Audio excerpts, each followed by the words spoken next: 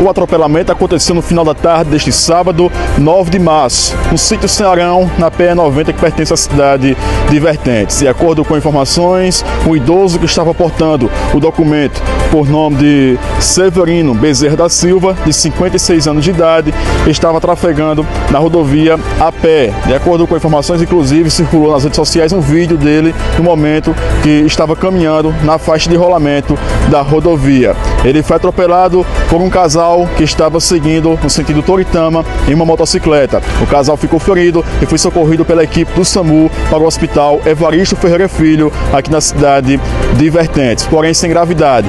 Já infelizmente o senhor Severino veio a falecer antes mesmo de receber qualquer tipo de socorro. No local, Polícia Militar do 24º PPM realizando o isolamento local e também o controle do fluxo de veículos. Na chegada da Polícia Civil e CIML, o corpo foi periciado. A nossa equipe de reportagem entrevistou o perito criminal, Dr. Douglas, que traz mais detalhes a respeito deste atropelamento com vítima fatal aqui na cidade de Vertentes. Boa noite. A gente encontrou a vítima aqui na, no acostamento, no sentido Toritama. Né? Apresentava é, diversas lesões são causadas nesse tipo de, de situação, né? no caso, uma, um atropelamento. É, ao chegar, a gente não se deparou com o veículo que teria atropelado ele, mas, de acordo com informações, teria sido uma motocicleta. Inclusive, os ocupantes dela também foram socorridos. Né? É, então, apresentava lesões que são compatíveis a isso mesmo. É, e também disseram que ele estava andando por aqui, pelo local, como é uma, uma via de intenso fluxo de veículos de alta velocidade, aumenta a probabilidade de acontecer esse tipo de situação. Inclusive o pessoal chegou a divulgar, doutor, é, um vídeo dele, é, ele caminhando na faixa de rolamento da rodovia.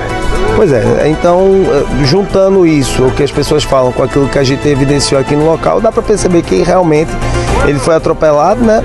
É, existe essa pro, pro, probabilidade dele estar tá caminhando na faixa de rolamento e aí o veículo vindo em alta velocidade, devido à baixa luminosidade do local, aqui não tem muitos imóveis, também não tem iluminação pública, então acaba que ah, o veículo muitas vezes está em cima já da pessoa, não dando tempo de reação para poder livrar. O a inclusive, com várias fraturas, a perna da vítima chegou a ser decapitada, não tô? Isso, ele teve uma laceração total de uma das pernas, né? É, realmente mostrando que foi uma colisão bastante violenta, né? além de outras lesões no corpo, escoriações. Então, nenhuma dúvida de que ele foi atropelado, tá? É, a gente analisando o local, futuramente vai indicar no laudo pericial toda a dinâmica do que aconteceu aqui para poder ficar claro para todos. É importante o trabalho da perícia em um local de acidente como esse, para em seguida também a Polícia Civil fazer todo o levantamento de informações e chegar à conclusão final desse inquérito, né?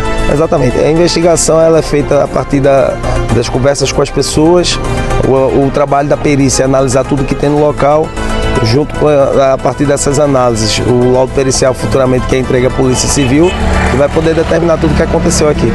Bom, doutor, muito obrigado pelas suas informações, sua atenção também para conosco da imprensa.